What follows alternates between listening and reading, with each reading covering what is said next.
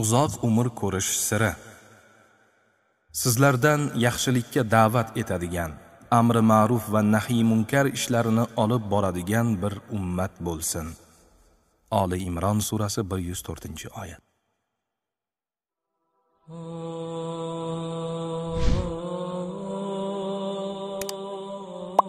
Yaqinda amerikalik olimlar ajoyib tadqiqot natijalarini e'lon qildi.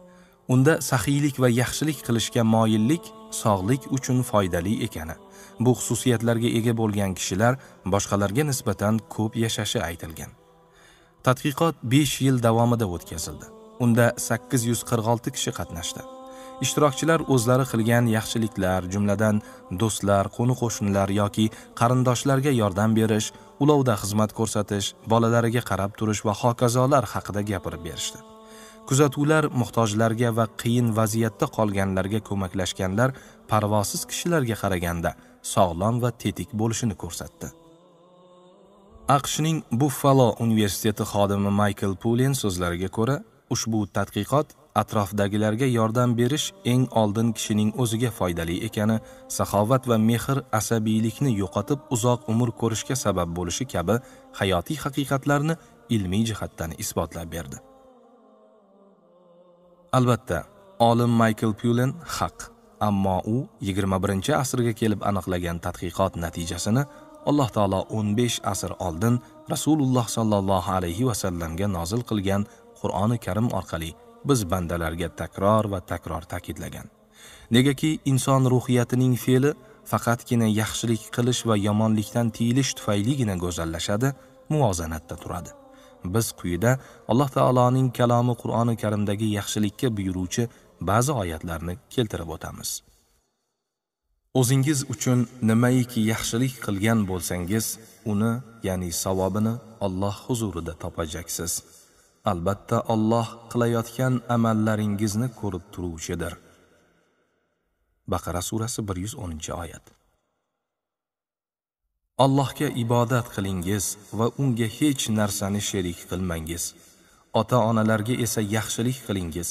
Shuningdek qarindoshlar yetimlar miskinlar qarindosh qo'shniyu begona qo'shni yoningizdagi hamrohingiz yo'lovchi musofirga va qo'l ostingizdagi qaramlarga ham yaxshilik qiling.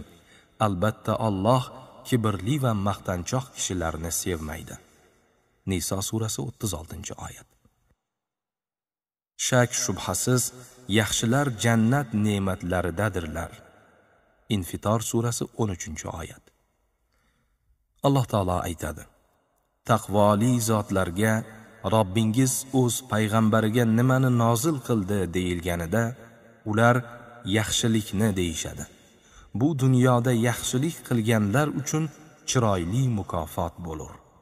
Nahl surasi 30 oyat. Xo'sh, biz kimlarni yaxshi deb atashimiz mumkin? Payg'ambarimiz Muhammad alayhissalomdan rivoyat qilingan hadislarda yaxshilarning bir necha sifatlari bayon etilgan. Usmon ibn Affon roziyallohu anhu Rasululloh sallallohu alayhi va sallamdan rivoyat qiladi. Sizlarning yaxshilaringiz Qur'onni o'rganib, uni boshqalarga o'rgatuvchilaringizdir. Imom Buxoriy rivoyati. Abu hurayra roziyallohu anhu rivoyat qiladi.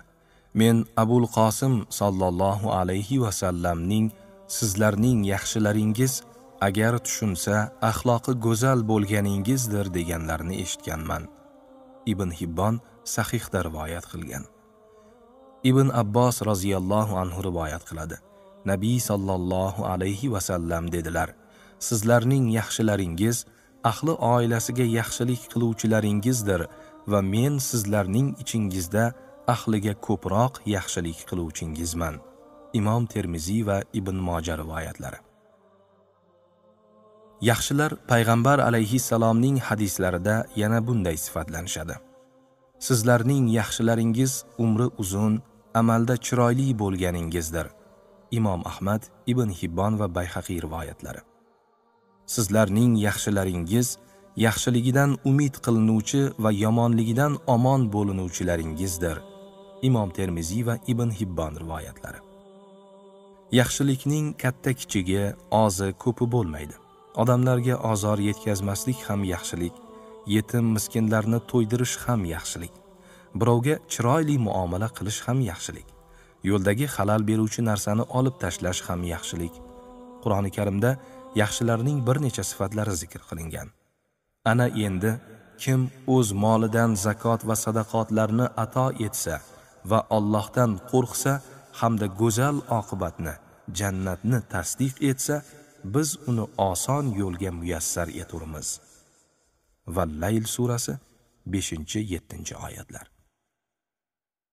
Albatta iymon keltirgan va yaxshi amallar qilgan zotlar ana o'shalar yaralmish jonzotlarning eng yaxshisidirlar. Ularning parvardigorlari huzuridagi mukofoti ostidan anhorlar oqib turuvchi mangu jannatlardir.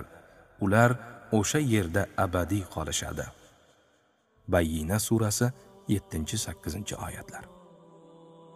Abu zar g'iforiydan rivoyat qilinadi.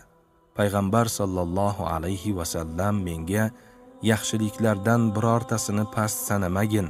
Garchi u birodaringga ochiq yuz bilan qarash bo'lsa ham deganlar. Imom muslim rivoyati.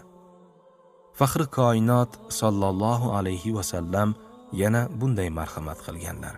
Ey muslimalar bir ayol boshqasiga qo'yning tuyog'ini berishdagi yaxshilikni ham past sanamasin.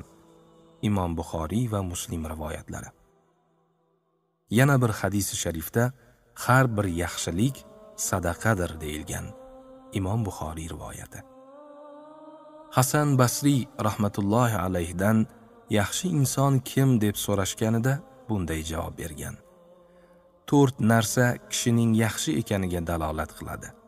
Tilining rostgo'yligi do'stlarning xato kamchiliklarini kechirishi zamona ahlining taniqli olim kishisiga saxovat ko'rsatishi tanish va qo'shnilarga ozor berishdan tiyilishi